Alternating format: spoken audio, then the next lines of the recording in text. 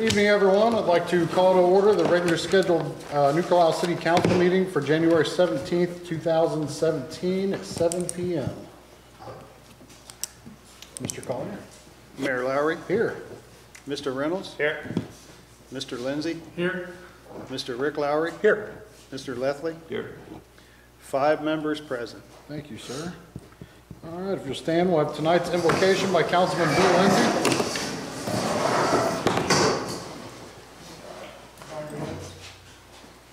Heavenly Father, evening, Lord, to give us guidance in this council meeting to make the best decisions we can for this city and for the population of this town, Father.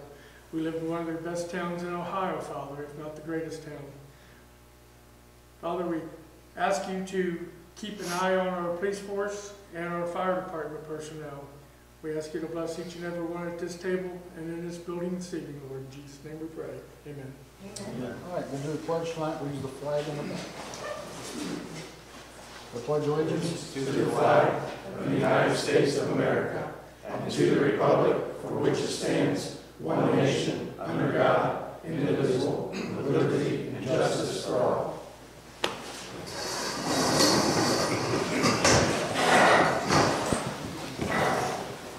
All right, I will need uh, actions on the regular scheduled council meeting for January 3rd, 2017. Motion by Mr. Lindsay, Lindsay, and second by Mr. Reynolds.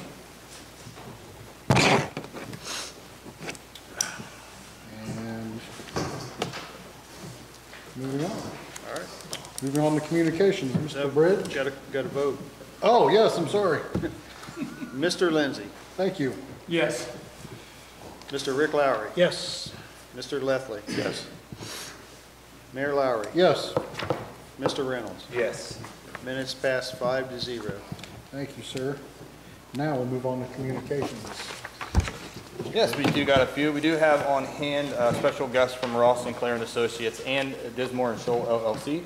They're on hand to give a short presentation and also answer any questions in regards to the two bond refinancing ordinances that we have on this evening. Uh, We do have Eric, Joey, and Jennifer in the audience today. You guys can take the podium, maybe introduce yourself. Do you want them to go up to the podium, or? Yeah, so he can get them on Okay, speak. you got, the- there's a podium right there in the back, just kind of get around that.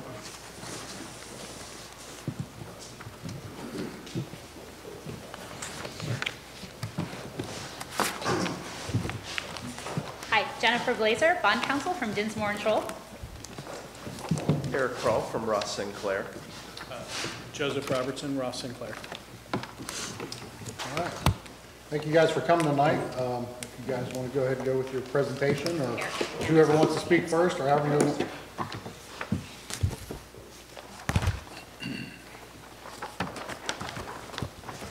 Thanks for having us this evening. Um, Here to talk about something that uh, it- it results in a great savings for the community and for the city. It's a refunding of two of your outstanding bond issues. Uh, While Jed's passing it out, um, Like to talk about just briefly interest rates. Can you? Um, Since the election, the interest rates have moved quite a bit uh, in the wrong direction for the refund, but then they've also pulled back to permit uh, what is about where we started when we initially discussed this opportunity with the city. Um, If you will, it's a, it's page two here. Um, It's a brief description of what a refunding is. Uh, Conceptually very similar to refinancing your home. Um, Interest rates drop, and it permits the city the ability to move forward to sell new bonds to replace the old debt issue and realize savings through a reduction in the interest cost. Um, Again, on the first page here, at the bottom, call features. Call feature is also known as optional redemption features. It's sort of a fancy word for when can the city refinance these outstanding bonds. On your 2006 issue, it's November 1st, 2016. So we've already passed that date to refinance. The other one is June 1st, 2017, but by the time we close this, to have a current refunding, you'd want to be within 90 days. So we're actually there, we'd be pricing or setting the rates next month, closing in March. So you're within the 90-day period before the call feature. If you flip to page three, this shows, yes, rates have bumped up a bit, but if you look just in just a general little chart here of municipal rates historically. This is since 1991. The shaded area is sort of the range that those rates have fell in. The dotted line is January of 16 and the solid line is January of 17. So still not the very lowest, but definitely trending towards the very low end of the historical municipal rates for this issuance. Page four is, we call a debt map, or just a summary of the city's outstanding debt. Of the three issues, first in the middle to identify the 2009 bonds do not have call features built in. We cannot refinance those. The 2006 and 10 do. Listed there are the principal amounts, the interest rates, and um, the highlighted maturities there that we can refinance. Um, As you can see, you're paying six and an eighth percent on the 06 issue, and between four and a half and five and an eighth percent on the 2010 issuance. So, next page, on page five, um, this shows a breakdown of the principal, the interest rates, and the call features on the 2006 bonds. This is the one with the redemption feature November 1st of 16. So the next page shows the savings on page six by refinancing that debt.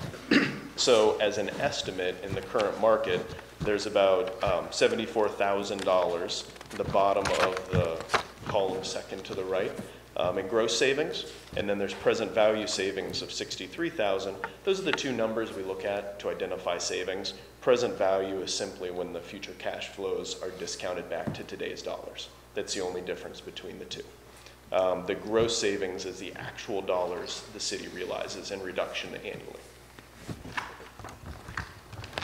The next page, this shows your outstanding 2010 bonds on page seven, along with identifying the call features or when you're allowed to refinance here in June. And then on page eight, it shows the analysis, the estimated analysis of savings for that, which is 40, 48 to 49,000 gross savings, 34,000 in present value savings. And then, once you add the two together on page nine in summary, we're at approximately 122, 123,000 gross debt service savings, and that's shown in a more of a spreadsheet form than on page 10. Um, Initially, when we came in November, right around the election time, I think right after the election, it was about 130-some thousand in savings. Now I'd say it's more in the 120s, but I do think you could end up back in the 130s. I mean, that's a, it's just there's a margin there where everyday rates change. That's a variable we can't control. I wish we could, but until we finalize the pricing on the rates, that's something that fluctuates daily. Um, so the, let, let Jen elaborate um, here on the, the ordinance before you, but um, that ordinance is to permit the city to move forward with the refund. If something would happen where interest rates move five percent in the wrong direction, something happens, you're not held liable, and we just wait and we see if the market comes back. So it's not saying you have to, it's simply allowing the city to move forward with the refunding in an attempt to capture the savings for the community on the debt service. Any questions on that, or I can introduce the um, ordinances, or or kind of as Eric pointed out. Um, So Eric and Joey are the finance people. They're the ones that are really kind of paying attention what's going on in the market, kind of showing you what your savings can be, finding the buyers for these bonds. Um, As bond counsel, I'm the legal counsel. I make sure that the refundings you do are legally allowed, and they're always within the parameters of your debt limits. Um, I also prepare all the documentation that documents the financing, and I give my approving opinion. Um, And what we have before you today is just the ordinances allowing this to move forward.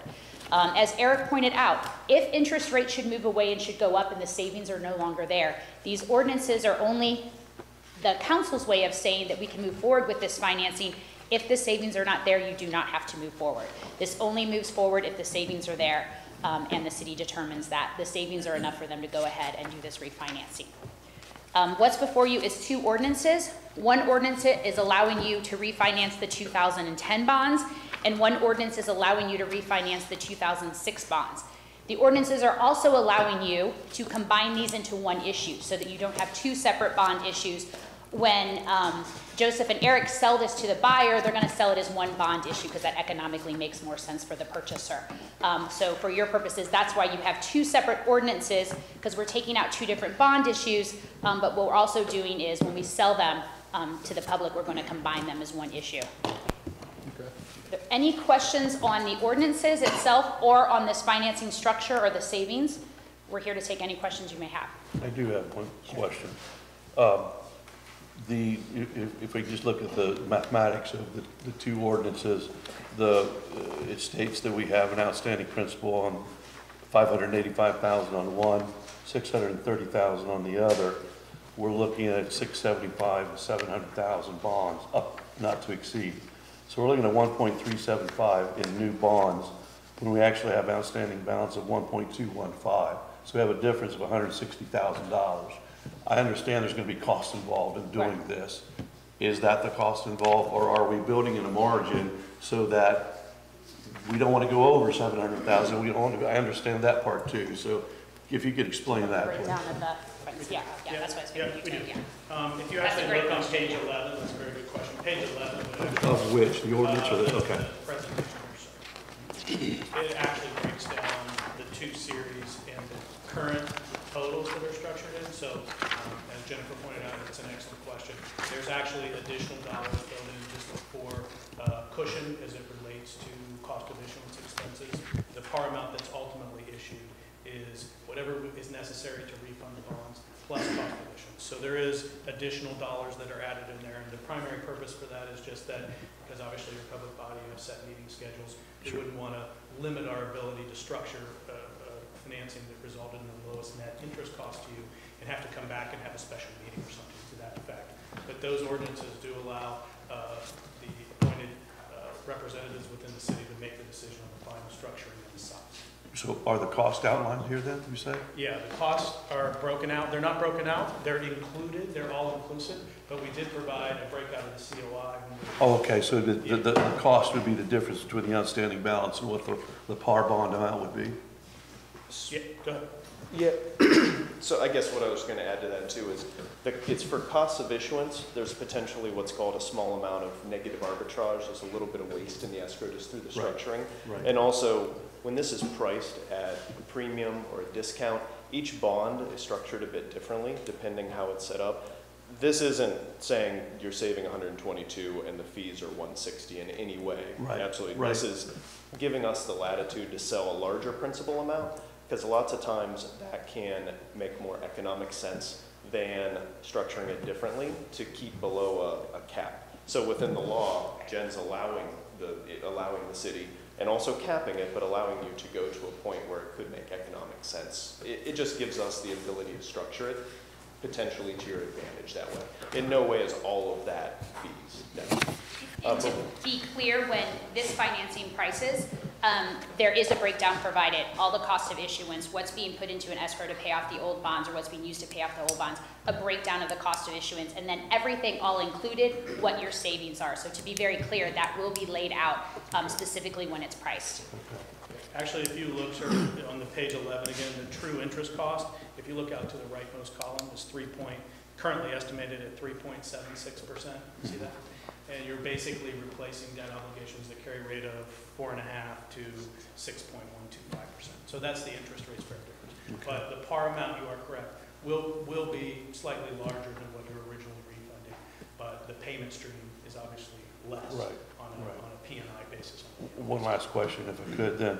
The, uh, are, are there, are there, uh, uh, prepayment penalties, if you will, on the old bonds that should be included in some of this or not? There is not, and so we looked at that, that's a great question too. And so as Eric pointed out earlier, there is a time in which you cannot pay them off early prior to the dates stated. Um, but we have now hit those dates or are about to hit that date on the one issue, but there's no prepayment penalty once you do pay them off. Good.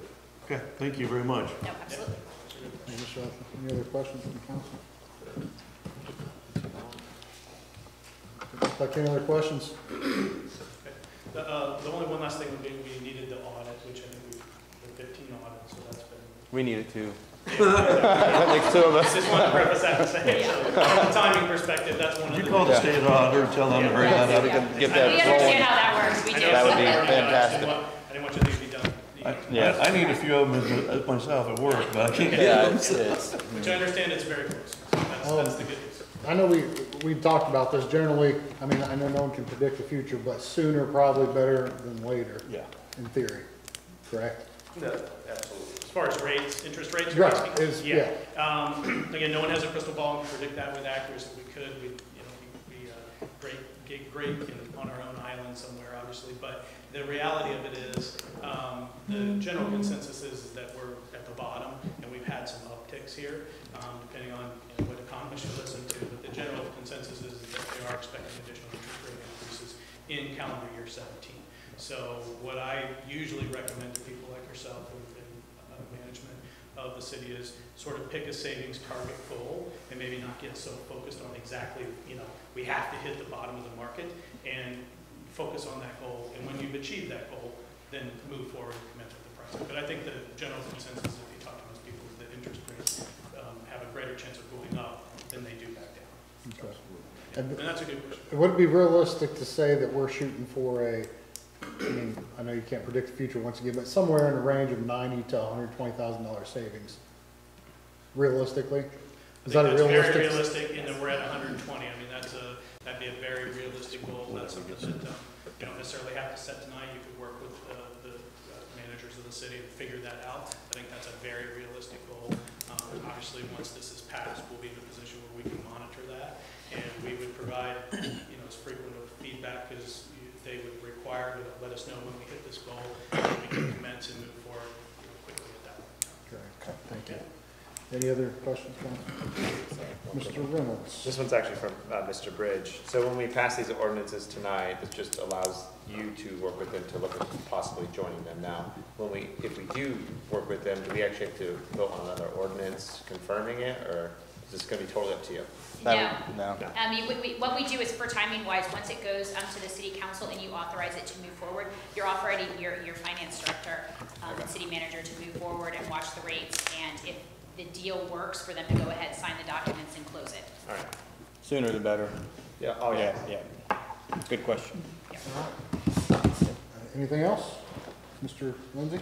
When we had our conference call today, uh, and I don't know which one of you gentlemen we was talking to, the, uh, the, uh, the rate that was given to us that would more than likely be the rate we get is somewhere around three point seven six, is that correct?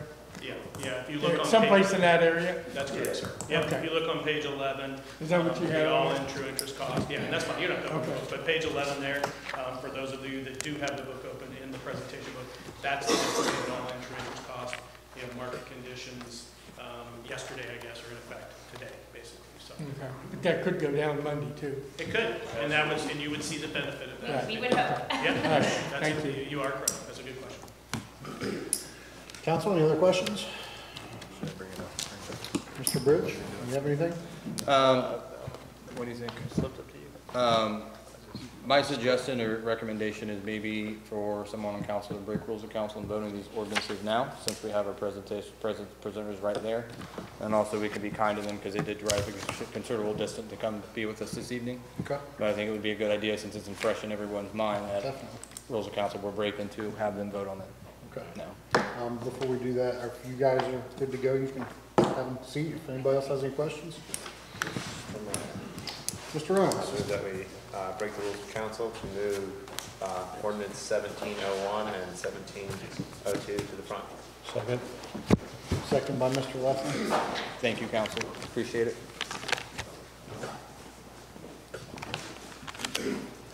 I will word that as motion to suspend the rules. Oh, break rules. That sounds, a- I'm a rule breaker myself, so I don't really sounds mind. a little rush, a little, little rough. Uh, you ready for the vote? You want to read them first? Oh, that is, No, no, you're right. no, you're we right. we have to You've vote gotta on the motion the- to suspend. You're right. I thought you meant vote on the ordinances. I apologize. Mayor Lowry, Yes. Mr. Reynolds, Yes. Mr. Lindsay, Yes. Mr. Rick Lowry, Yes. Excuse Mr. me, yes. Leslie. Yes. Motion to suspend passes five to zero. Now we'll move on to the ordinances. Correct. Ordinance, ordinance 17-01, public hearing and action tonight.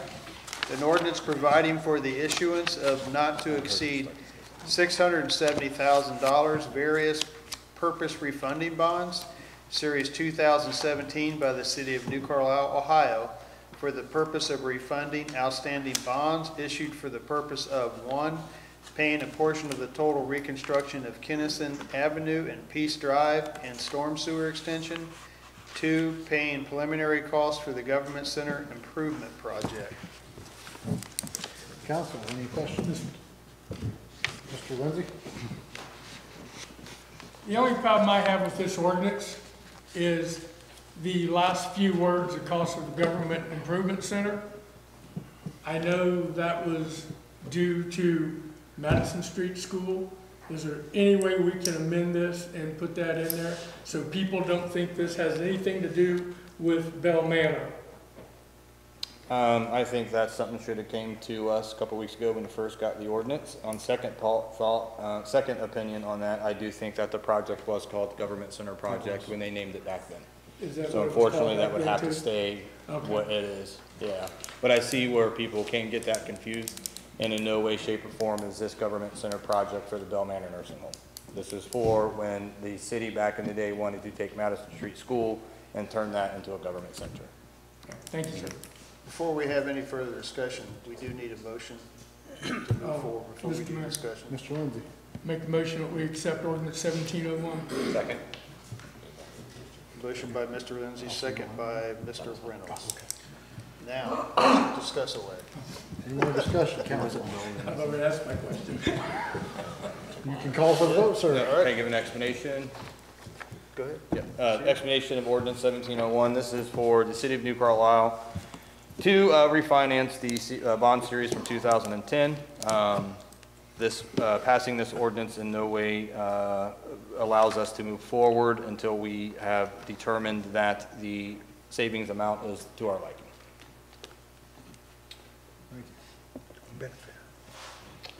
Mr. Collier? Mr. Lindsay, Yes. Mr. Rick Lowry, Yes. Mr. Lefley, Yes. Mayor Lowry, Yes. Mr. Reynolds. Yes. Ordinance passes five to zero. Ordinance seventeen 2 public hearing and action tonight. An ordinance providing for the issuance of not to exceed seven hundred thousand dollars infrastructure improvement refunding bonds, Series two seventeen by the city of New Carlisle, Ohio, for the purpose of ref, of refunding outstanding bonds issued for the purpose of paying part of certain improvements in the Twin Creeks subdivision of the city and matter related to such bonds. Mr. Mayor, Mr. Reynolds? Yes. move we approve ordinance seventeen 2 Second. Any discussion, council? And an explanation of ordinance seventeen oh two, uh, very similar to ordinance seventeen oh one. This allows the city of New Carlisle to refinance our bond series from two thousand and six. Again, the passage of this ordinance does not mean that we have to go through with it until that we have determined that the savings is beneficial to the city. Mr. Collier, when you're ready, sir. Mayor Lowry, Yes. Mr. Reynolds, Yes. Mr. Lindsay, Yes. Mr. Rick Lowry, Yes. Mr. Lefley. Yes. Ordinance passes five to zero. Now we can move back to where we were on the agenda. All right. Thank you for coming down. Please be safe going back. Thank you very much. Thank you. Guys, drive safe. All right. Moving on, communications. Yes, we have a proclamation, Mr. Mayor. Yes, sir. Uh, School Choice Week, it is attached, and I do believe that you have the great envelope to read. I do. Proclamation. Great envelope. Yes, so uh, I was thinking after we're done with this, because there's no single person to give it to, we could take it to the uh, Elementary School and That's awesome. drop it off to Miss Randenberg, because she does a great job with it. She does, fantastic. So I will stand up and read this. It is Office of the Mayor of the City of New Carlisle, Ohio proclamation designated to the week of January twenty-second and twenty-eighth, two thousand seventeen as New Carlisle, New Carlisle School Choice Week. Whereas all children in the city of New Carlisle should have access to the highest quality education possible And whereas the city of New Carlisle recogniz- recognizes the important role that effective education plays in preparing all students in New Carlisle to be successful adults. And whereas quality education is critical, important to the economic vitality of New Carlisle. And whereas the city of New Carlisle is home to excellent public school system for which parents can send their children in addition to families who educate their children in the home. And whereas educational variety not only helps diverse, diversify our economy, but also enhances the vibrancy of our community. And whereas the city of New Carlisle has many high-quality teaching professionals who are committed to educating, educating our children. And whereas School Choice Week is celebrated across the, the country by millions of students, parents, educators, schools, and organizations to raise awareness for the need of effective educational op- options. Now therefore, I, Mike Lowry, do hereby recognize January twenty-second through the twenty-eighth, two thousand seventeen as School Choice Week in the city of New Carlisle, Ohio, and I call for this observance to the attention of all of our citizens. So, Great, that's awesome. So I will drop that off to the New Carlisle Elementary School tomorrow and give that to them. Awesome. Thank you. All right, moving on, we need to schedule a special meeting in January to select a new council member, Mr. Collier. So, um, council, any, Gene, have you got any idea of what date? Did you talk to them as far as their availability? Well, just talk about the process. Council will hold uh, interviews tomorrow evening here at Smith Park Shelter House. We have three individuals who are interested in that vacancy. So those interviews will be 6:30, 6:45, and 7 o'clock, so you shouldn't be here very long. Uh, And then it's left to you folks. The reason, the need for the special meeting is, according to the charter, that if council waits until uh, the first meeting of February, that'll, it'll be past the 30-day time limit, which will put it into the mayor's hands to make that appointment. So I, I know council wants to make that appointment as a group. So it needs to occur before, at least by the end of January Okay. at some point. So it's left up to council when you want to have that, if you want to have it. I know that the joint government meet- meeting is on that 30th. You have next Monday night, which I don't know who's available or when you would want to do I that. can do pretty much any day during the week. I think next Monday's good, because we have a meeting tomorrow night as well, correct? Yes. So, Monday would be fun next week. Twenty-third, twenty-third? Monday, would fit me. That's- okay. Does or doesn't? Okay. would, You want to do six thirty? Or do you need seven? Six thirty would be fine. Six thirty's fine with me. Six thirty? Okay, Gene. Give me a minute to, I need a motion for that. So moved. So we're talking, give me that date again, 1, Twenty-third. 123, Six thirty. 17 at Six thirty. 6:30? Yep. And that should take every bit of five minutes, Right. maybe, to do that, so. uh, Who made the motion? Um, Right here. Mr. Mr. Rick Lowry? It was the time. but. Did we have a second? Second. You did? Mr. Leftley? I'll have to check the Any- availability. No, you have to. Okay. Any questions before we vote? When you're ready, sir. Mayor Lowry? Hold on. Do you have something? Yes, are we getting the new applications of the three that's interested, or at least their names? You've already have them, it's three of the, three repeats. No applications, they just express an interest to re-interview. But we had like six or, six applications, which three? Well, I contacted the other individuals who were involved before, and they didn't call me back or show any interest. He's So- asking wanting to know which which three. three. He doesn't know. Oh, Don Hall, Okay, uh, Aaron Lighty, and, uh,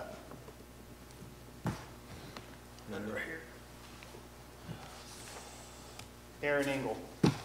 Those are the three. So we should, I know I have my original applications from them, so does anybody know? There are anybody new, else? no new applications, they just. they Resubmitted indicated- the yeah, originals? Yeah, yeah, So nobody needs new copies? no, no changes. I don't know about anybody, everybody else. Okay. still interested. Ready for a vote? Yes, sir. Mayor Lowry, Yes. Mr. Reynolds, Yes. Mr. Lindsay, Yes. Mr. Rick Lowry, Yes. Mr. Leafly, Leftley. Yes. Motion passed five to zero. Special meeting on 12317 at 6:30 PM. And I will note that that'll be here at the Shelter House or at the Firehouse, depending on availability. We should know by in the morning if it's available. Yeah, I'll let you know in the morning. You'll send us an And- email or let us know? Uh, Okay. Yeah. And then the other issue is, is I will need to uh, put a legal notice, at least in the Springfield paper, of the special meeting next week, because the information from tonight's meeting will not be in the paper tomorrow, because it's already been printed. That's what happens when we have a Tuesday night meeting, we get all screwed up, so. Tuesday night, not Monday. Correct? Okay. Thank you, sir. on. Moving on to the city manager's report, Mr. Bridge. Awesome. Let me get there. All right, thank you, Mr. Mayor, members of council, members of the public. Uh, Thanks for coming today. It's good to see uh, a lot of high school students here to see how your local government works. Uh, My name is Randy Bridge, I'm the city manager. So this is our uh, city manager report for the month of December. Under the action report, we have Bell Manor. We do, I do have a meeting scheduled for 1/30/17, that's a Monday, with the attorneys that we have helping out with this um, donation.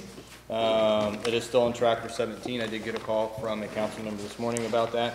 Um, I'm not, I don't have an anticipation of when the project is going to be done. I'm still shooting hopefully for an April donation timeframe. Um, But with any kind of um, big project, that timeframe might get pushed back. So I will keep council abreast to any kind of new information that I have. But we do have a meeting scheduled with our city attorneys on the uh, 30th. Kennedy Trust uh, update, the deal is still moving along. Uh, The final consent decree has not yet been filed. Um, I have spoke with our attorney Lynette about that. She said it was due to the holidays. Um, Because of the consent decree not being filed, the purchase agreement has not been signed either. Um, This is both out of our hands. We, we don't, we can't tell them to hurry up, though I would love to. Um, But once this is completed, we will receive the funds that we agreed to. And of course, with any other big project or any project going on, I will update council accordingly. Um, And moving on with the discussion, we have our finance discussion. The report is attached. So I'd like to introduce our finance director, Ms. Colleen Harris.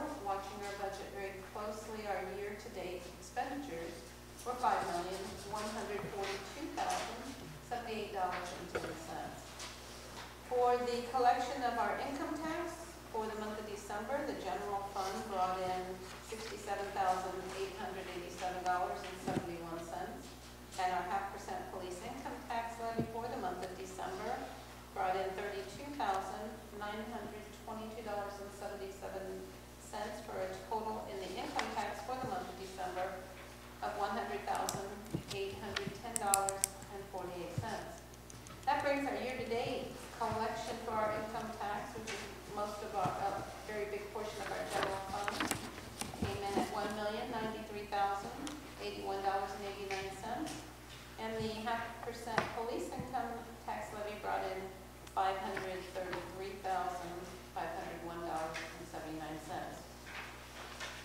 The other comment that I wanted to make, uh, most of the citizens have probably received or should have received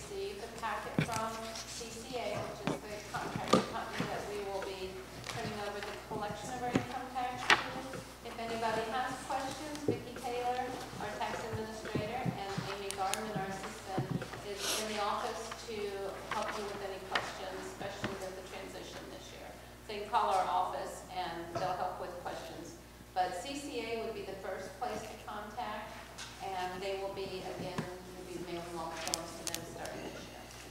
If there's any questions I can entertain? We're also having, isn't, two workshops that are gonna be at the firehouse, correct, with them? on the- On the taxes? Yes. To help Which is that. something we haven't done before, would be the after hours and, the Saturday, I believe, the dates that they had picked, so. And that's um, up, that's up on the city's Facebook page, correct? Yes, it is. Correct. So Thank the CCA representatives and our tax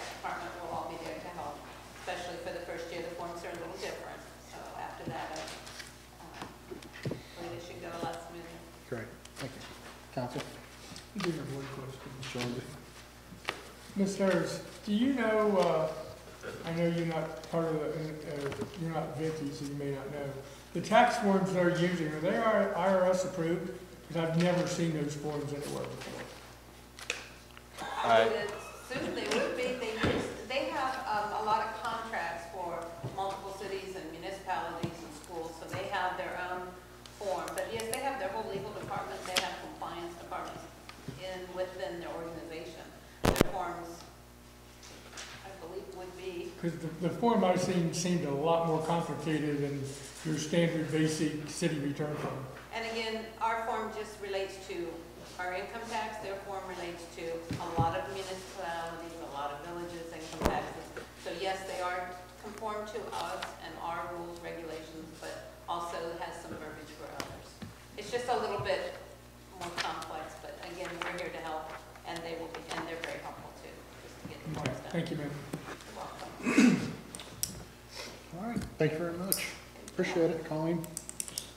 Uh, Before we move on, I would like to point out two numbers on this report um, that I think actually need great attention to detail.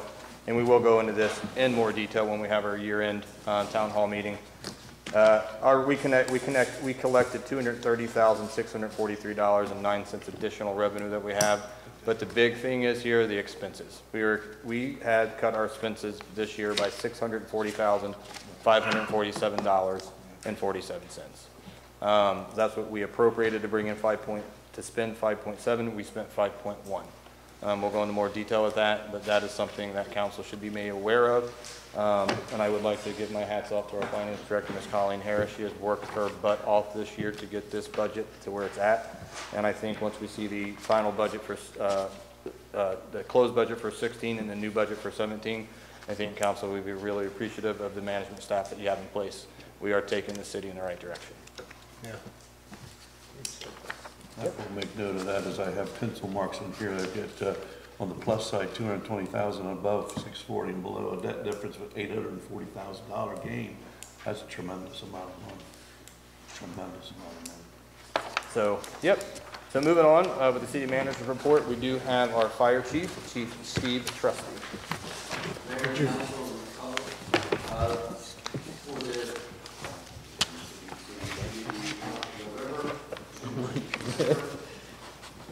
Co-op are doing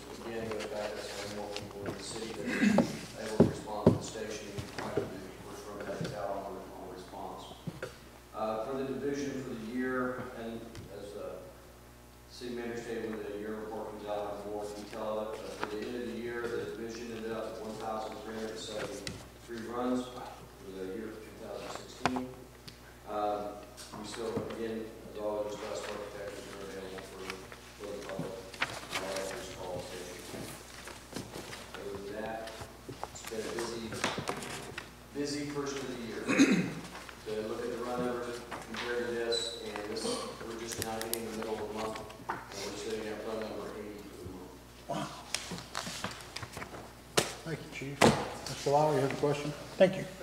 Ah, Chief Trusty, uh, how much more money do you need for the Lucas tool? Right around seven thousand. Have you been in contact, Randy, with, go ahead. Um, I had spoke to the commissioner today that informed me that we did not get the money. We didn't get it? We will not get the money from the county. Is that because they bought all the buildings? I don't know.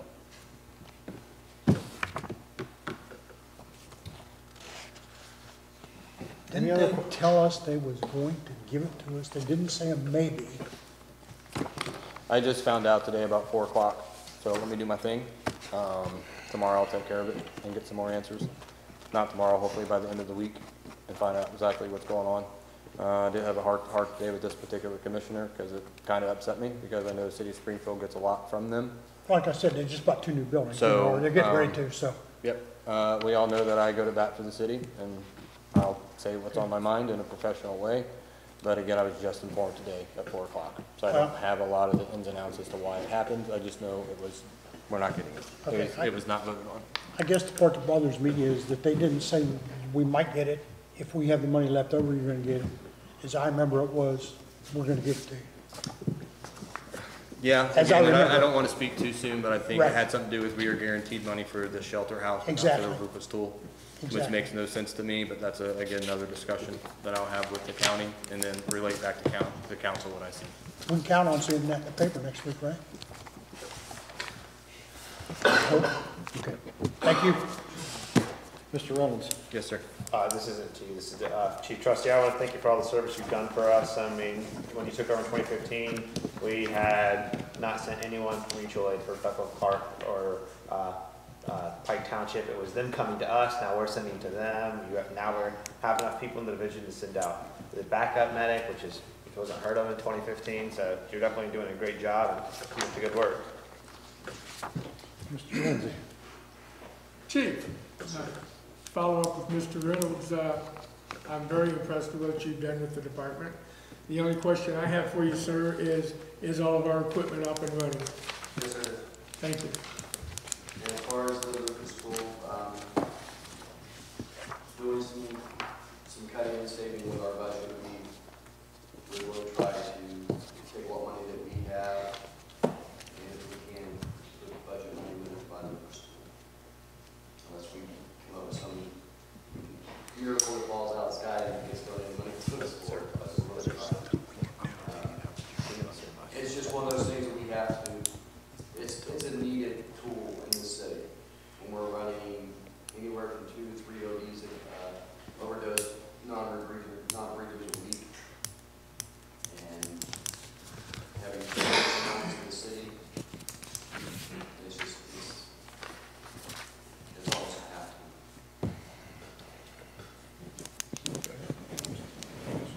Is this something possibly, Ms. Harris, that with the budget surplus that we have had, would that monies be able to be spent on the Lucas tool? We're going to look at it, the, the most, the fire and the ambulance departments have to kind of stay within their budget, the general fund can't loan to it, if it's something that the manager wants to look at, but we, we definitely all are on the same page. Because this is just a one-time buy, you know, Yeah. you know, so we have a, I, I mean, I consider myself to be a deficit hawk, but I mean, if we have such a big surplus, I mean, and it's, you know, what, seven thousand something dollars?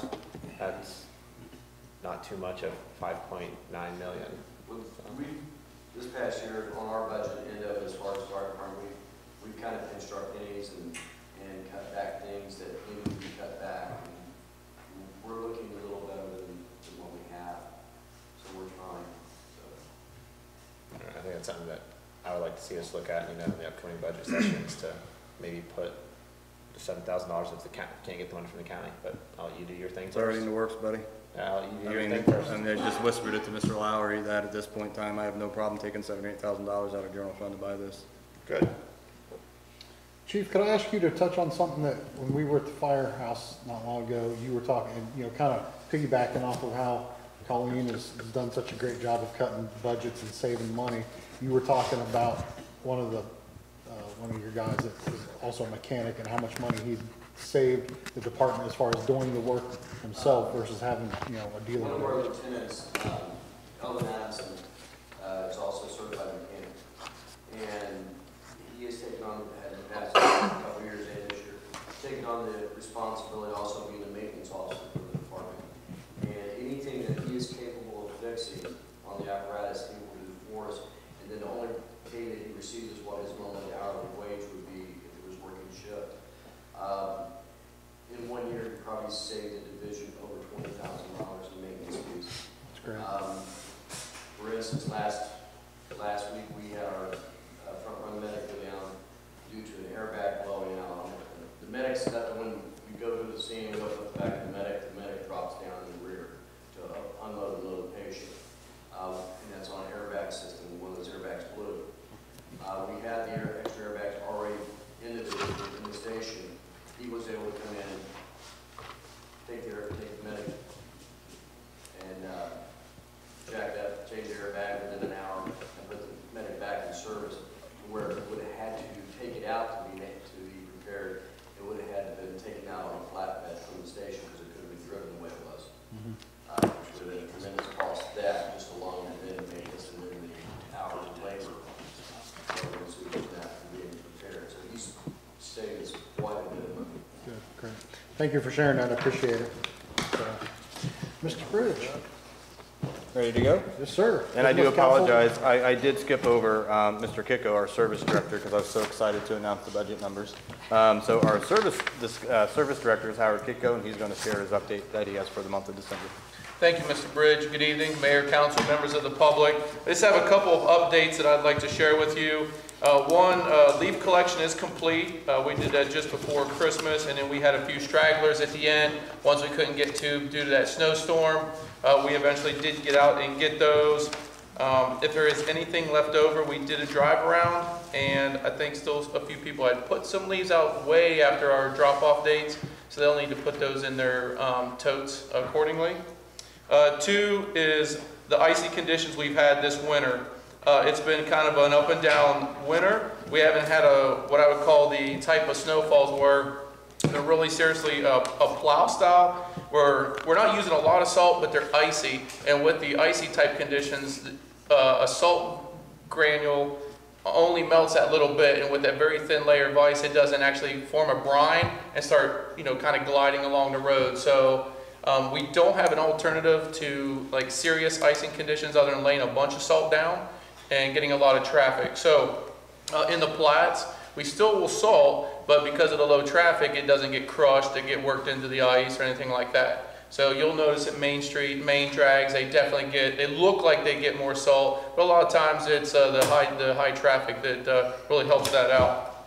Uh, third are potholes. Uh, we are working on potholes. Uh, the one in front of AutoZone is from the gas company by Fishel, and I've already contacted them. They have done some repair. Uh, they will stay on that repair until the spring when they can do the permanent fix for it. Other ones, such as the ones like in Wattadog, uh, a few other ones, those are city, we have repaired those. Uh, this summer, we will um, try to get out and try a more permanent fix for that. That is a bad area of base in that road there where it gets under drainage. Um, it has always run off that parking lot and some of those roads and it just, it pumps underneath there. So we're trying to figure out what to do, whether it's a concrete repair work or something of that nature. Uh, also, with that, most of these are Public Works Division items. We are short an employee currently in the Public Works Division and have been for about, uh, well, I think close to two months. Um, hopefully here soon he will be repaired and be back in service. Um, it was our mechanic, which pulls a lot of things that can get fixed, fixed at, at, at a moment's notice are taking some time. We have one of our Public Works uh, guys trying to keep some of the maintenance going with it. Uh, some of the other ones we've had to send out to our local vendors here to get some work done. And then um, I've been trying to help out with just little bit, little things here and there. But just keep in mind that we have been uh, digging at the cemetery. Even with this winter, we have been really busy with cemetery grave sales. So the Public Works uh, Department is doing the best they can with trying to um, keep things going. And um, that is all I have. Council, any questions? I just had one. What kind of, I know it's early, but any, uh, any future ideas on street projects? Uh, I do not have any anywhere near nailed down at this time. Too early? Mhm. Okay. And then you touched on the, the spot on the road by Water Dog. I know that you'd mentioned before that the concrete's probably busted up or cracked underneath or whatever it may be, and I know you touched on it. would it be ultimately, I mean, I don't know how big that section would be, would it be ultimately cheaper to dig it up and relay a section of concrete there instead of the patchwork year after year? That's what I was, that's what I mean, when I do a major extensive repair job, the problem with that sometimes is if there's still under drainage issues, I could put brand new concrete and in a year or two, it'd be busted Okay, from the heaving, so, okay, yep. thank you. Uh, when you said it on one road, we do have Prentice Phase Three. Um, that's not uh, in particular my project. Uh, it's my project, but I got a lot of CDBG already approved for that. So that is a definite, but as far as levy, uh, monies and adding to that, that's still up in the air on where, how, where and how we're gonna, uh, work that in. Just three, not three and four? Oh, no, that's, uh, the whole thing. The whole thing? Yeah. Okay. Okay, great, thank you. And moving on with the city manager report, our police administrator, Sergeant Underwood. Sir. Mayor, council, citizens. Gives me great pleasure to announce that you have the sheriff. You're giggling back there, calm down. So I'll I'll start off with the report, and there's a new format here, uh, simply because uh, we have a whole different system, and I'll explain some about that. But on January 2nd, 2017, Deb Burchett, and that's the way she pronounces her name, is Burchett, um, assumed her role as the new sheriff of Clark County. And she has committed herself to making Clark County a safer and better place to live by adding more deputies to the patrol division and doing more to control the heroin epidemic. And believe me, it's an epidemic. Sheriff Burchett is also committing more to New Carlisle by allowing me and even insisting that I spend more time working up here. So that's good. You're gonna, you're gonna see a, a lot more of me uh, at no cost to the city. And um, I think that's a big plus for us all. And as of December 1st, 2016, the Clark County Sheriff's Office started using Emergitech Intercad as a new system for dispatching and Emergitech Interbadge in the patrol cars for the deputies. That's their in-car computers. The new system allows deputies to see each call as it comes in and the information with it. Deputies can also see the calls that are holding and other valuable information. So it's just like on TV. Um, They've had this out since the 90s on their computer screen. The calls come up on the computer screen. Um, A hot call or a- a serious call uh, will flash in red, uh, bringing it to the officer's attention. And not only do you see your calls, but you see the whole county. So I might be caught up on, on my calls, and we have areas, uh, I might be able to go over in the other area and take a report or whatever to help out. So it's a good system. Um, There's still some bugs in it. Uh, There was a lot of training for the deputies, uh, and I I wish we, honestly, I wish we'd had more. But it's totally different from what we've done in the past, and it is taking uh, some time for them to catch on to it, although most seem to have grasped it by now. So with all that being said, there is a new way of doing stats for us here. And it even, as I said, since the sheriff's office is using a completely different system for statistical information, you'll see some minor changes when it's reported to you. And this is what I want you to take a look at. And this by no means is what a deputy does a month or a shift. But you'll see um, on the first page, at the top left, it'll have run, and I run this today's date, and 8:45 a.m. That first is first shift. The deputy's name pop up on this, but I, I just don't want to compare deputy to deputy on taking calls because quite naturally, third shift is going to be different from first shift. And in the summertime, second shift is, is going to handle more calls than first, first shift. But this is a summary of the prevalent, uh, the highlighted calls that they took for the month. And you'll see the next page, I have second, that's second shift.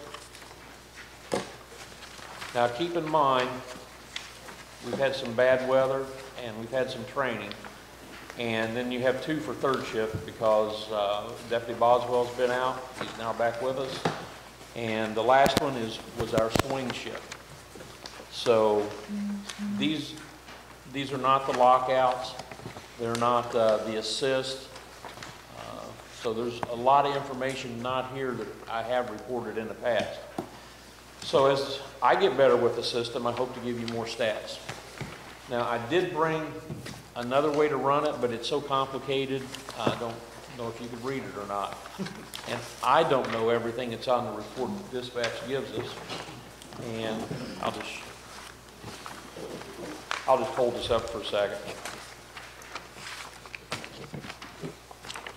A lot of information on here, but uh, it's hard to understand and hard to read. So this is a a breakdown of what actually is important, and we no longer do the run sheets. Used to, when I pull up, well, even I, I come in here, I'd have to put down, I was at Smith Park, I was having a council meeting. Now I type it in on the computer real fast, and it generates it in our new CAD system, and now supervisors don't see those reports. And it's, it's saving time and paper, uh, and we can go back if, if necessary and, and pinpoint exactly what the deputy was doing if that, if that is necessary. So as, like I said, as time goes on, I uh, hope to understand this a little better and add some stats to it uh, for your convenience. So it's nice that we have this system. Uh, At first, being the old guy, it was hard for me because the young guys on the computer is flying away and I'm like, oh my gosh. So uh, it is something that, that was challenging for me. I'm, I think I got a grasp on it now, and I'm starting to ramble. So with that, I'll entertain any questions uh, or comments. So, Mr. Bridge? Um, on your report, you have two third shifts there on the run detail. On Yes. the third, on the first third shift report, dated 12/26/2016, that was the run date, um, of the actual call, but I see at 27, so that's 12:27 a.m. Is this, our deputy went to Springfield, Ohio, then again, later on, a couple hours later, our deputy left the city limits to go to Springfield, Ohio to get a wanted person? Am I No, they had a reading wanted correct? person with them, and they were taking him to jail. Oh, okay, got you. So the wanted person was located in the city, and Right, they it- transported that person to Springfield? It's not uncommon. Uh, Well, we have to go there. We don't have a holding cell. So it's not uncommon for the cars to be in, the- in Springfield. And uh, in the summertime, I encourage them, when they take someone into the jail, to stop by. We have a a business that donates a car wash to them, and we'll try to keep the cars as clean as we can. But that's the type of things, if you, if you don't understand, I'd I'd like to know about, so I can explain. Sure, sure, that's why I asked it. So basically, that's not where the incident took place? Right, they're not going in Gotcha, fair enough. town for, When I read over like the first step and said, all right, I see, you know, New Carlisle, Westlake, US Jefferson, then I saw that Springfield, I just assumed that's where the incident took place, but it makes sense. So thank you for clarifying that. Trip to sure. Mm-hmm. Council, any other questions for Sergeant Underwood? Sarge, how's the, uh, how's the cars going? How's the newer Ford Explorer holding up? Um, it's great. Kind of fighting over it, to be honest with you. Everybody wants the new vehicle. We've, um, we've had some issues with a couple of the older cars, but Howie's kept his men on top of it. um, And like headlights, uh, wipers, uh, it might seem minor, but it seems like it's happening every, at least once a week. So Howie's been great with his people, keeping our cars up to date to try to keep them running. But they do, they all want the new, the new vehicle. And speaking of that, we actually will start the process for the new vehicle for 17. Actually, just brought it up to Mr. Kiko today, so that will be taken up. Uh, One of the council members had suggested we buy two, but unfortunately, that wasn't in the capital, it was already approved, so we will get one this year, or to buy maybe two next year, or keep on the original plan, just get one each year.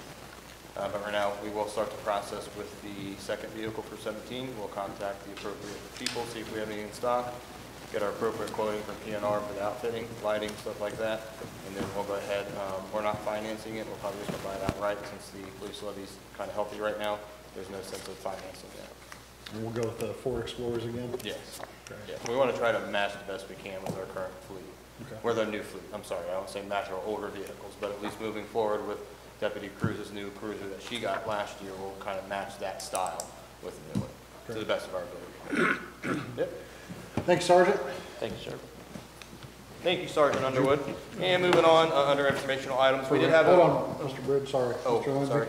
Sorry. Question for you, Mr. Bridge. The, since we're talking cruisers, the old cruisers we have sitting around, when will they be disposed of? uh, when we get everything together that we have for gov deals for the city. It's gonna be one deal out. I'm not gonna do two different resolutions for this car, one for that car, one for this old item. So we'll gather our, what we are willing to get on gov deals, and that actually has to be approved through council as a whole, uh, before we can put that on. What, what else are you planning on getting rid of? I mean, that you know of offhand besides the old fire, or fire uh, vehicle? Oh, uh, our old front-end loader from the eighties that sits behind the HUD, um, the old sewer jet, um, some old mowers that basically, they don't really have much of the equipment left on them. Just some old things that have been around since the eighties and early nineties. Okay, Yeah, thank you. Mr. Reynolds. I have a question. I feel like no one will buy the sewer jet, 'cause I I was gonna say, uh, my question would be is, for these uh, deputy cruisers, like I see, you know, driving around, you see people in old police cars, like, do they sell those through gov deals, or like, do they sell those to the citizens automatically? Like, are we able just to sell it to a citizen, like, put it up for sale instead of just going through gov deals? Is that possible? I mean, you can, gov deals, um, if I I think remember. we get more money out of gov deals Yeah, I think they do like a bidding type thing on gov deals. Yeah, Um, Gov Deals is bidding typically, because we did a one-time sealed bid here for, uh, equipment, and, you know, we didn't get, uh, much. Okay, I'm just But yeah, wondering. Gov Deals is very, you get people from all over the place. Okay, so you make more money selling it through gov deals than going through private sellers? Typically. Okay, just- Typically. just making sure. Yeah. I feel like no one's gonna buy something that was in service during the Korean and Vietnam Wars, but you know what? That's what I was gonna say, if you get somebody to pay you for that, please let us know. There's someone there. no, Somebody, somebody will take it. Somebody will take it. I heard Randy was looking for a new ride. Hey, hey, hey, hey.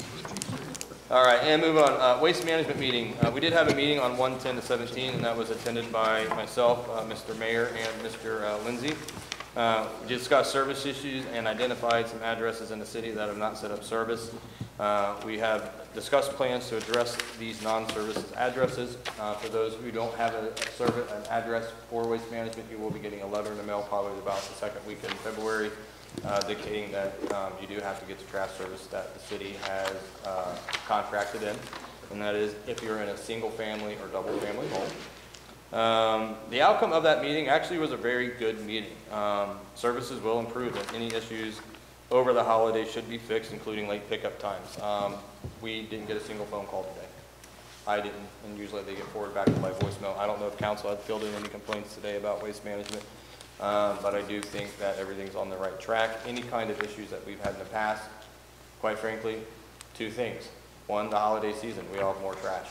Second part of that is our citizens not following the directions on the brochure or maybe not being known that the contract had changed. But once they had figured that out, I don't think they had any issues since then. So I do think that the waste waste management contract's definitely on the right direction, and I still stand by that waste management has again treated the city very, very respectably in terms of pricing and container size, not only with this contract, but the contract that we had last time around with them as well. Um, So again, any questions or concerns that you may have towards waste management, you're more than welcome to give me a call at the city building. You can also address your issues with your council members as well. Uh, Got some great news. A lot of, uh, a lot of people have been asking about this, so I, we did it. We now have an official City of New Carlisle Facebook page. If you do like the City of New Carlisle Facebook page, make sure our city seal is the profile picture. There are quite a few um, New Carlisle pages that are not official from the city. The point of making the official Facebook page for the city was strictly to send information directly to our residents and business owners. What I mean by directly, um, over the summer, we had a water boil advisory. We had, took extreme measures to notify our citizens. Me and Mr. Mayor came up on a Saturday, handed out bottled water. Uh, we had put some things, um, in the, uh, paper, I do believe, because we called some radio outlets. But what we failed to neglect in today's age, a lot of people get their information from Facebook. Whether it's acceptable on a professional level or not, a lot of people use Facebook to get their information. So, uh, with that being said, any kind of a city emergency or any kind of general city implication, information. It will be directly to our citizens and business owners on the official Facebook page of New Carlisle. Um, take a look at it now. There's some great information on there currently about our income tax collections and also our new waste management contract.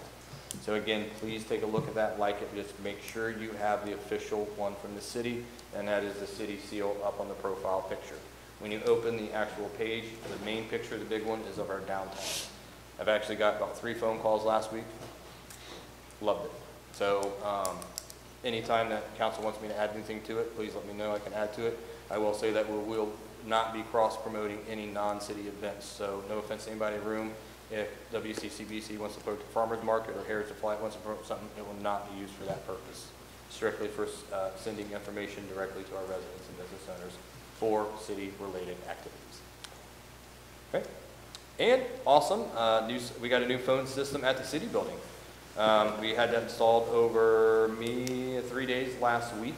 Um, two things led me to getting this new phone system. First and foremost, the static on my personal line was atrocious. I may have gotten, for 10 voicemails I received, I would probably have to delete three of them based off the amount of static on the phone. The current phone system we had was over 26 years old. Um, and the second half as to getting it is they are no longer serv- servable. Any part would happen to break in those phones, they don't have a replacement part for them at this point. At this point. So um, we, the current company that we had our phones with were also the company that we had our previous phones with. So they gave us a fantastic deal to where we're only paying uh, about 22 to 25 dollars extra a month with our old- old phones. But what this has done is allows us to get our phone calls and actually hear what people say. We had two council members on a conference call with the new system today. It was crystal clear. We have not had that availability in the past. It increases efficiency both for the callers uh, into the city and city staff who answers the phone. Prior, we would have one person answer the phone. They would have to transfer back to my voicemail. Now, you can read through the options, hit two-two, it takes you directly to my line. Um, so again, that directly places callers into the appropriate contact. So what we're doing is increasing our efficiency, making it easier for the, our citizens and business owners to get to, to the direct person they need to, and also allowing that person who would normally answer the phones now can do other things. So um, again, we haven't had any bad feedback back about that. I did get a few calls saying they do like that because now they got a hold of me directly, bypassing the two or three people that they would maybe have to go to before. Um, so if you have any questions on that new phone system, I'd be more than happy to sit down and explain it to you with you. Another fantastic feature about this new phone system is if, for God forbid, we do go under another boil advisor and it's Saturday afternoon, I can literally from my house remotely dial in, put an emergency greeting on there, letting our people know what exactly the situation is, and it goes in, after that emergency greeting's on, then it goes into the normal, regular greeting. So, um, with our phone system, it's almost like we're up to date. Um, we get voicemails to email. So if you leave a voicemail on my, on the phone, it goes directly to my email. So it doesn't matter if I'm at a conference, I'm out at a meeting, I will have access to that right off the bat. And sometimes that plays an important role because you don't believe how many times you get a voicemail saying, I need help or I need this answered ASAP. And prior, you'd have to wait until I got back to the office to actually check the physical voicemail on the phone. So very ecstatic about the new system. The installation process went as smooth as I think any installation thing can go, um, but it, it seems to be working fantastically now. That's, I was gonna actually have you touch on that with the, uh, like the water boil advisor, so you can do that from Anywhere. Dayton, wherever you're Any- at. Anywhere I'm at. Great. Hey, that, Mr. Kiko will have all the information too. If I'm out, he can uh, be able to do all that stuff. Um, But yeah, it's, it's a, it's a tool that I think we'll definitely, definitely, definitely use. thank you. Mhm. Mr. Mayor, Mr. Lindsay?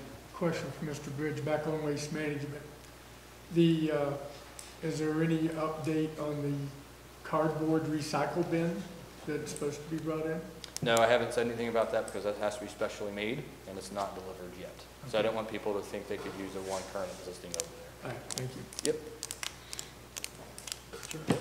And moving on, upcoming budget work sessions. We need to schedule a budget work session for the week of February 6th and/or the week of February 13th. I would like a minimum of two work sessions. Again, the budget is due by April 1st, 2017, and uh, tentative submission to City Council will be on March 6th, 2017 via resolution.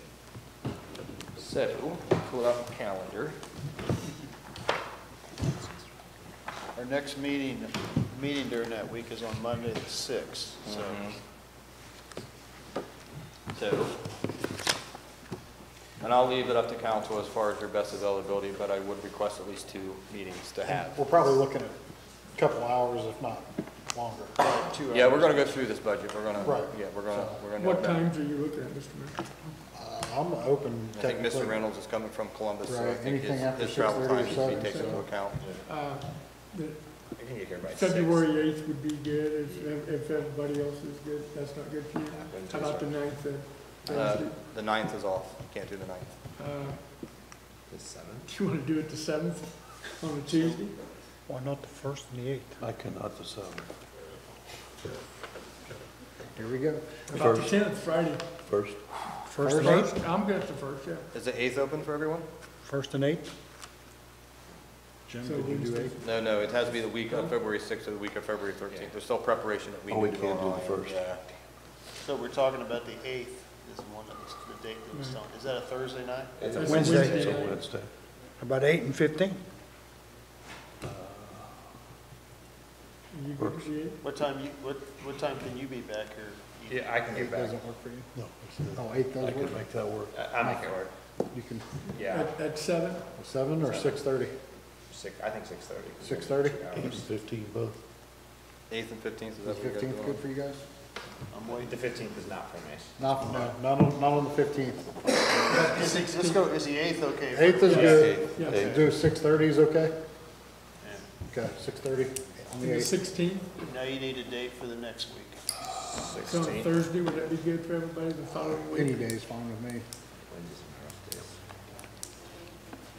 I can make that work. Thir- The sixteenth? Six thirty Sixteen or is after not good for nine. me. Mr. Lowry, good with that? No, No, but I mean, you know, I won't scrap the whole meeting. Yeah, I'm good. I can change things. What date, what was that second date? The 16th. sixteenth, February sixteenth at six thirty, I guess? Six thirty? I mean, if it would work better, we could go to the seventeenth, so Mr. Lowry would have to rearrange his. No, I'm good, I'm good. Who's gonna make that motion? Mr. Mayor, Mr. Reynolds? move that we, uh, sorry, uh, move that we accept meeting dates for February eighth and the sixteenth at six thirty PM for a budget work session. Second.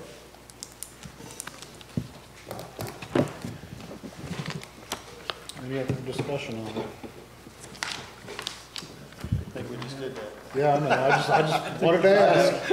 I got you. When you're ready. Give me a second here, because you guys are taking up all my space here on my paper, so I gotta go down the line. Mm-hmm. Second was by Mr. Lindsay, so I would start with Mr. Lowry, Rick Lowry, Yes. Mr. Leffley, yes. Mayor Lowry, Yes, Mr. Reynolds, Yes. Mr. Lindsay. Yes, Passes five to zero. February the eighth, February the sixteenth at six thirty PM here at the Shelter House or wherever we're, what's ever. you gotta set that date at a different time, or the location, or is it here? We'll find No, out. I can, I can check availability, if we be here or the fire station. You'll Okay. let- And you'll let us know, Yeah. okay? I'll just look at everything tomorrow for the coun- special interview for, uh, council, for special meeting for you guys, and then check the availability dates for the state. Great. It's not all one, one email. Uh, and moving on, is council okay to have our town hall meeting the same day as final budget submission, which would be March sixth of twenty seventeen? What'd you say? Our annual town hall meeting, last year we did it the same day as final budget Oh, okay, submission. okay. What's the day, March what? That would be March sixth, and that's a Monday. Yeah, I'm fine. They did, uh, do they approve that? No. Is that a regular council? That's a night? regular council meeting anyhow. Yeah, no, they don't have to prove that. How did we do that? Did we do it after the council meeting? You did it before. Um, um, um, um, I think it was a small council meeting before, then it goes into the Yeah. town hall. Okay. So we'll start that at, Yeah, like I said, it was at. But I think it started at we six started the council meeting at six thirty. as thirty. opposed to seven, yeah. Okay. We need a motion for that as well? council meeting at six thirty that night? Correct. So have a small council meeting at six thirty, and then at seven o'clock, we'll start the official town hall. You don't need a motion for that, that'll just be built into the agenda. All right. I don't have any room for any more motions. Those should be out. Anything else, Mr. Bridge? Killing me. Anything else, sir? Nope, that's it for the city manager report. I'd be happy to entertain any questions, as long as they're not hard ones. We're good? Okay, I'm good. Uh, Mr. Mayor, Mr. Lindsay. have we not, don't, do we not have to adopt resolution seventeen oh one? That's underneath the resolution. We're, we're not there yet. Oh, we're not there yet, okay. We're, we're now at, thought you getting ready uh, for us to leave. No, comments from the public is where we're that's at. what we're getting ready to go. Comments of the public. Uh, just co- Ron, I won't call you mister. I won't get in trouble. I don't want to call, I don't want to get in trouble and call you sir. Been there. Ronald Cobb, 202 Villa Drive. Mr. Mayor, January the 3rd, citizens were informed that Waste Management would be here to confront. Mm-hmm. Okay? Waste Management, where they at? Didn't come. Why not? You want the honest truth? You lied to the citizens. Oh, come on, Mr. Cobb, don't point fingers. You promised the citizens that Waste Management would be here. Waste Management's in trouble in Beaver Creek, Tipp City, Fairborn, and here. Mm-hmm. People want them gone. I- Now, are you ready for me to circulate a petition to remove them by a vote of the citizens? By all means, if that's what you feel you need. What will that cost the city? Mr. I Cobb, don't before we know. go any farther, I'm going to ask you to watch your tone, the way you talk to council and to administration. I don't mind you with your concerns, but please watch how you talk to the city manager and everyone on council.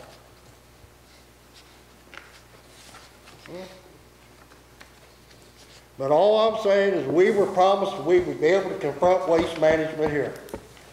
And they're not here. Waste Management went down from three trucks to two trucks. That's the reason we've been having trouble with garbage in this town. Uh, let me address that, Mr. Cobb, because that came up in the meeting, I, you can ask Mr. Lindsay and, and Randy that I brought up, I said, I asked them, because, you know, you were the one at that meeting at the firehouse that night. I asked them, I said, do you remember Mr. Cobb, you know, you're sitting on the left, he said, yeah. I said, he'd come to our last council meeting and stated that he'd called Michigan or whichever office you'd called, and said that Waste Management told you that we went from three trucks to two trucks, and if that was true or not. And his statement was, correct me if I'm wrong, I, I think I got this right, he said we had three trucks, but the third truck was for alleys only. And we are down to, we are down to two because they do not no longer do the alley pickups anymore. He said they send out a third truck every so often for an hour or two, just as backup, but we are down to two because of no longer the alleys. He said the third truck was always, always for alley pickup. Is that what he said? Yes. Okay, I just want to make sure I said that right. But here again, corporate's telling me one thing, you're being told something else. And I'm gonna listen to corporate before I listen to this guy in Fairborn. Corporate says they had three trucks in here, they reduced them down, plus you had your recyclable truck in there. Mm-hmm. Okay? Services went down way past back in November before you even voted on the contract. You know, all I'm asking, is why are they not here to be confronted when the citizens were promised? My, what I'll be, Want me to take it? What I was gonna say, or if you can copy it, is personally, when we, the first thing, I was the first one to that meeting. I showed up early, I always get to my meetings early. And I asked him, I said, how many complaints has Waste Management had from the citizens of New Carlisle? And it was almost embarrassing that we called that meeting because he had twelve complaints for the month of December. Can you prove that? Can I, well, no, I can't prove it, but See, now you're taking the word. Oh, I am gonna take his word. Now, you know, what, look at what it's gonna cost you when the voters tell you to get them out of town. It's not gonna cost us, It's- if you were to, let's just say, if you were to do a petition to toss waste management, our only other option is to go to Rumpke, which is two to three dollars higher than waste management. I don't think that would benefit anyone in the city. Now, I, I don't know, just like you spoke earlier, you didn't get any calls. Today, it looked like, I haven't seen any trucks that were here real late today. It looked like everything was picked up and taken care of. Yeah, stuff was picked up yesterday because they picked up the trash that was sitting on the concrete. They pulled it up, put it in the grass and dug in the grass when he put the arm out. Okay, so we're gonna, we're gonna start, okay. No, I'm just telling you, you're going, sitting back here, you're wanting to cover up for what the man's telling you. I'm not covering anything up, I just told you what he said. I mean, it's, well, I mean, if we're gonna start picking that they scraped the grass when they put the barrel back down, I mean, I'm not complaining about it, I'm just saying okay, that I will get a petition going to remove waste management and put it out, and you can bring in whoever you want. and you've got man in Springfield. who did not respond to the bid that we had put out. Right. I know there's a lot of talk on Facebook, people saying, I'm just gonna stop with waste management, but people fail to realize we are a chartered municipality, all right? We have our own rules and regulations. If this council approves a contract for waste management or any other carrier, if you live in a single-family or double-family house in this city, you have to use waste management. If the There is no voters- such thing as a free market, get all these, you know, let people decide what carrier is gonna use best for them. We can't have fifteen different carriers in the city. If you think the roads are bad now, let fifteen people, live garbage carriers, because people should be able to pick and choose who they want come into this town. But people are forgetting, and our, and our ordinances, if this, if this council chooses waste management for our waste service, you have to choose that service level. Not if the Now, vote, let me not if the on. voters come back in there and tell you to remove them. Well, if the voters want to do that to themselves, I would think that would be a very bad decision on their part. Because Because look at the pricing, look at the pricing, and I will say this directly to YouTube and everyone else sitting here. Look at the pricing in other mun- mun- municipalities. Waste Management has treated this city very good with pricing, not only with this contract, again, for the previous contract as well. Um, the time of year that we switched was the worst time possible. Again, everybody's got way more trash than what they normally do. I can test for that. I've got, my garage is full of Amazon boxes. It was the perfect storm of when to switch over. What is discouraging, to be very honest, is the amount of how much social media has overplayed this situation and blew it out of proportion. We have had citizens that I've talked to per, directly to me who said, my trash getting picked up. Did you get your brochure? Let me check. Oh, here it is, I didn't see it. I, we, administration and this council cannot be responsible to go to every single citizen and said, please make sure that you're doing your part to run your home effectively. We put the information out there. There's direct mailers to each address. There is also information on Facebook page now. The information is there. Um, I understand your concerns. I do not appreciate you telling me that I lied to citizens. I think that was a below the belt, below the belt shot because that's not true. Um, but at, the- at the end of the day, I spent many hours trying to get the best deal for this city. And for the amount of positive reviews that we have had, far exceeds the number of complaints. Ron, also, let, let me tell you something else that we had brought up with them. Because I had the same problem you'd had, I think, at one time. They would pick up one of my cans, but not the other. And I'd brought that up, I'd had that problem, and you'd had that problem. I don't know if anybody else had had that problem. We asked them, the computer that's on board with their truck, I think it was you that asked it, said, when was that computer updated? So like if somebody changes their type of service, does the truck get that information that same day? And I, I think he said, for example, if, if they picked up Monday, the computer's updated the day before, early in the morning. Is that what you said? Either the day, I I thought they said the day before in the evening, or first thing the Monday, like Monday. It was the day ahead of Yeah, time. it was like Yeah. twenty-four hour leeway there. But he could, now, I'll- Ron, I will tell you this, honestly, he could not give me a reason why one of my cans was picked up and one wasn't. And the same with yours. I, s- he, I mean, he, he didn't have an answer. I'll, I won't lie to you.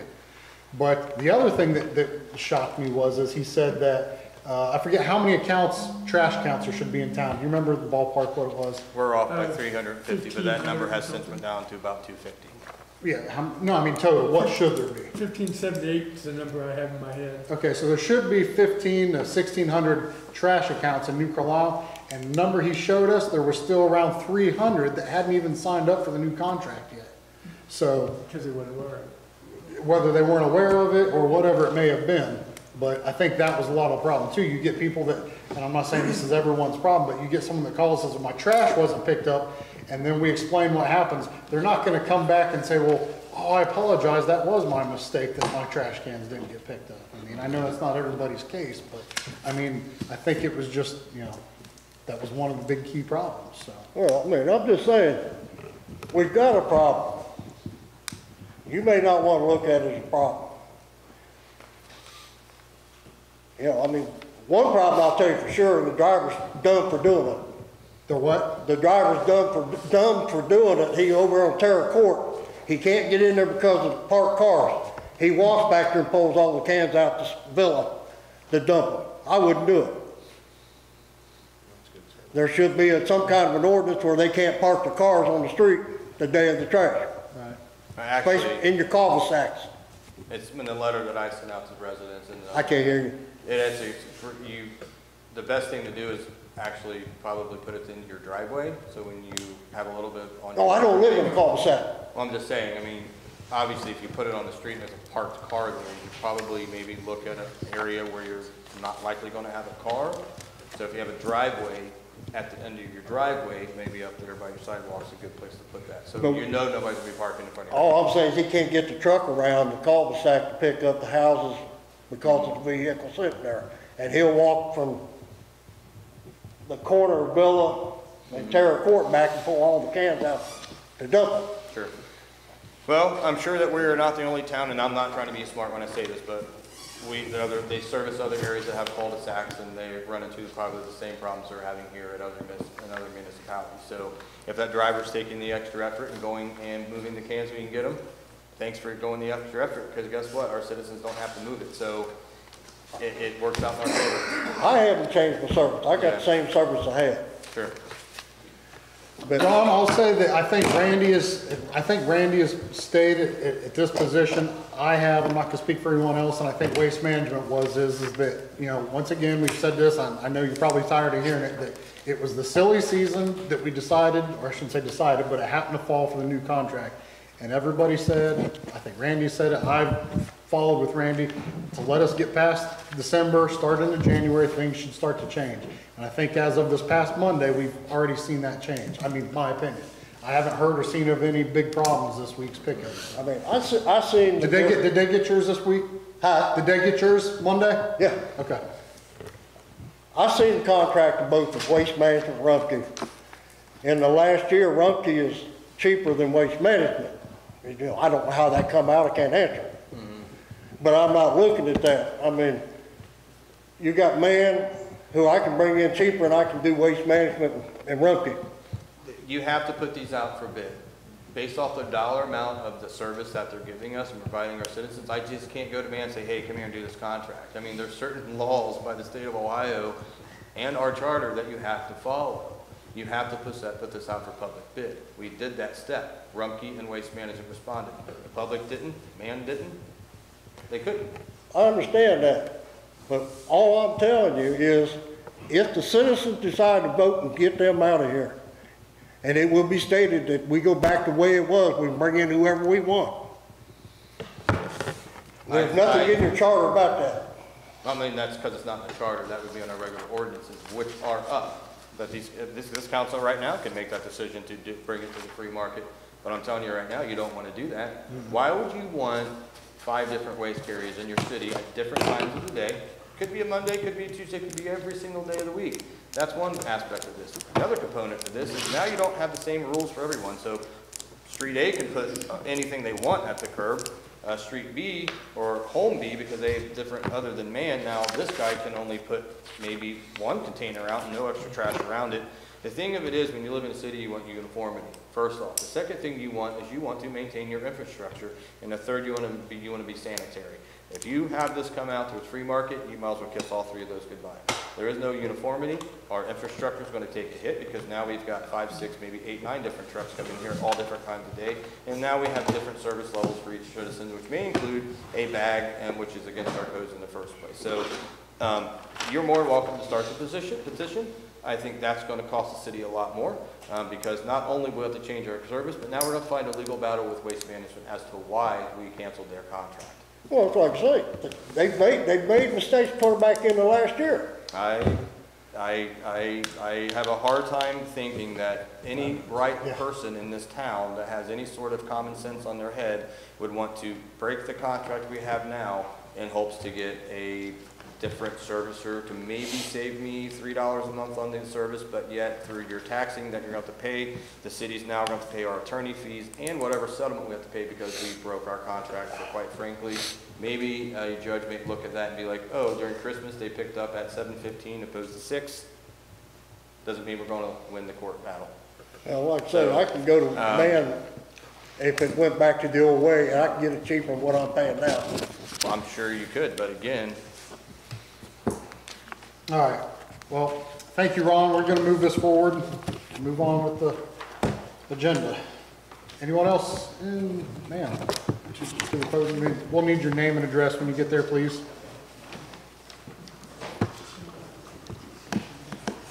And my name is Judy Bible. I live at 806 White Pine Street, and I'm actually here.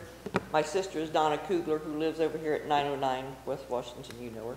Um, she sent out an email to council today, and she was said somebody she didn't have their email address, and somebody else is bouncing back. So she's been sick. She didn't couldn't make it, so she wanted me to read the email to I you. didn't get one, and I know she has one, but maybe I didn't look late It, enough. it may have been later in the day, you may Okay. not have seen it, but anyways, um, she says to count, to city council, I don't know the new person's name, so please share with him, and I'm not sure which one of you is the new person. Uh, I just wanted to share my opinions. The shelter house should be maintained. It's earned its own entitlement, and please express this to Mr. Cobb the next time he brings it up. The nursing home should be a pass. We have been close to the financial edge through time, enough times to hopefully learn a lesson. I gotta take my glasses off. Also, I don't know that it would be legal with the state to earn income from it, from the sense of a rental property. I didn't research it, but somewhere in my head, I think I've read that, something about that. I believe if we can borrow money to renovate this building, we should instead be investing in our water department and our streets. Besides, I seriously doubt that the citizens would understand how just recently we couldn't afford a- the sheriff without passing a tax levy, but we can afford to take on this building. Please give this some serious thought before making any big decisions. Thanks, guys. Donna Kugler. I agree. Thank you. Thank you. And then I have a, just a question myself. Will we be doing limb pickup this year? We absolutely are. Yes. A lot of the services that you saw cut when the city was having financial issues are being worked back in. Okay. So lemon brush, leaf pick, leaf pick, leaf pickup, all that is, leaf pickup's done, lemon brush, absolutely. Yeah, the mm-hmm. limb pickup's the big one now, especially, you know, at the end of the winter or something. Yeah. You got a big pile, it's like, you got a little car, you can't mm-hmm. take it nowhere. Yeah. Now, with the new waste management contract too, you are allowed to put yard waste directly into your existing trash can. So if you do maybe some grass clippings this summer, you don't have to go out and buy a lawn bag and load, you don't have to go out and buy a separate container, you can literally just put it in with your regular trash. If you have any sticks or anything like that that you just want to throw away, just make sure they're broken and absolutely fit. Okay?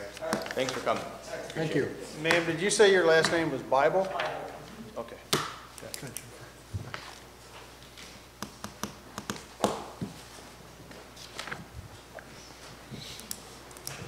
My name is Jennifer Thornberry. I'm at 307 Villa Drive. Um, I was wondering, um, I spoke last time about the trash, and um, we had, I had some problems where there was like debris around the road that I was on, and in several places around um, the city that I had seen trash laying around, you know, just careless here and there, you know. Okay, well, we have several kids in here who are looking to do community service, and I've uh, talked to many of them who um, are looking to get some hours. And I was wondering, I didn't know if this was the time or the place, but I'm going to take the opportunity to ask. Um, would it be possible that they get their um, community service hours by, um, if, I will take the opportunity and I will um, take the initiative and um, um, chaperone these children and take them around to let them pick up trash everywhere for, they only need, what, five hours? Mr. Bridge, I, I- I don't know what, if they're allowed to do it anytime you want to come volunteer, yeah, we'll take you. I would just go back to your administrators at your school and see if that's a qualifying project. There might be something, and this, I think it's a great idea, but I know sometimes with this community service project, they want you to do something with a little more substance. I'm not saying that helping your community clean it up is not a valor thing to do, but they might want you to have to do something a little bit more, um, complicated, to put it easy. Um, but if you're willing to do that, your school signs off on it, we would love Um, to have now, the only thing is, I do know they have done this for, um, the NCBSA, the Baseball Yeah. Association. They do need somebody to sign off. They do need somebody to sign stating that they did do these hours. Sure. I won't, they won't take me, I don't think I can do it. Yeah. Um, if you are gonna do this as an organized group, to even though the kids are individuals, as an organized group, you'll probably have to stop by and get a waiver of liability, even though you're volunteering, uh, as an organized, uh, Like from the Together. city office? City offices, yeah, we have waiver of liabilities. If it gets that far, I can check into it, but usually individual, that's usually not an issue, but when it becomes an organized group, that can run into a gray area. Uh, we usually have like the Tecumseh Trail cleanup group, and they do different things. They're a group, so we, they're not an official group, just someone heads it up, volunteers, and we have like release of liability on them also. Should I do that or they do that? Um, you would want to check on that, if one from the school, if we sign off on this as a group effort, or if they come just individually and, and just go pick up trash, and we can sign it without an issue. Okay. Thank you. Thank you. Any other questions from the public? All right. Moving on to, uh, let's see, committee reports, none tonight, so we'll move on to resolutions. Resolution seventeen dash zero one, zero one R, resolution adopting rules of council. Mr. Mayor.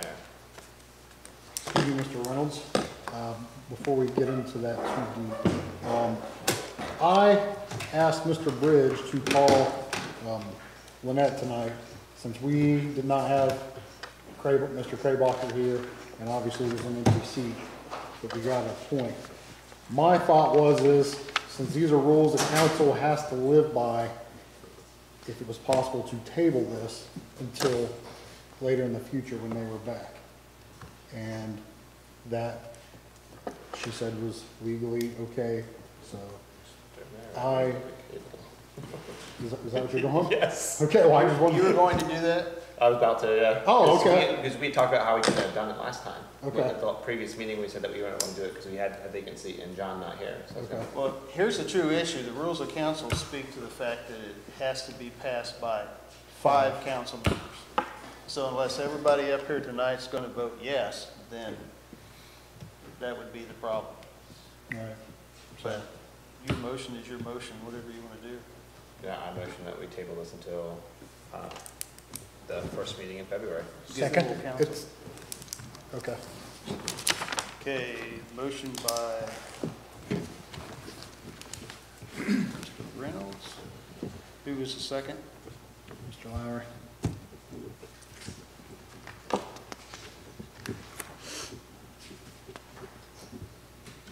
So I just need to in- introduce it, nothing different, just a different, just do it the next. Yeah, just do it again. Everything's the same. Correct.